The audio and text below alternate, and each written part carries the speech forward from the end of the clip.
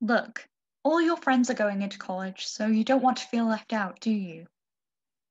You need to go into college instead of sitting in front of a computer all day. I know you have the option to work from home, but you hate hate all those interactive lockdown lessons, don't you? They give you a Zoom headache, don't they? And it's so strange not to be able to see friends or anyone. I know you miss your macchiato in your favourite little coffee shop with the cats. It's been open for months now without you. Muffin will be mewling for you and Ebony destroying all the cafe's furniture. I wonder if they even allow cats to live in the cafe anymore. So you're going to be making that journey again soon, okay? That ordinary, mundane journey to go into college. Living like this is safe. Too safe.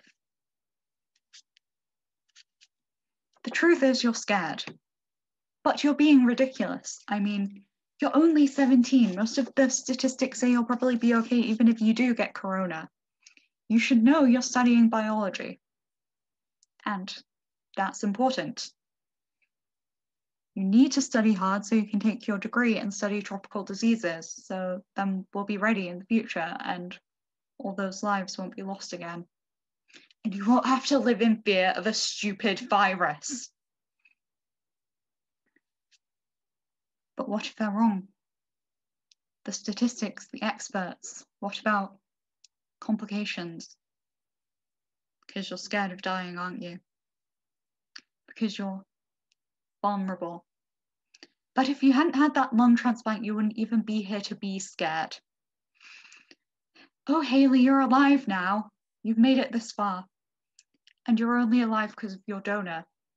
Your donor who gave their life so you could live yours. Do you really want to waste that gift by staying at home? And what about the vaccine? They're already doing trials, and when it does become available, you'll be a priority. It won't be long now. So you will meet your friends. At a safe distance, of course. Emma kept in touch all the way through lockdown on Skype. But what she carries the virus? She looks well. We spoke only 10 minutes ago. She looks healthy.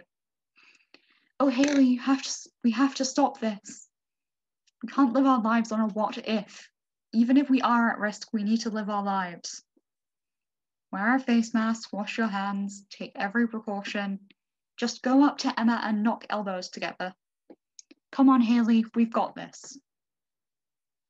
Never mind, your makeup, the mask will ruin it anyway.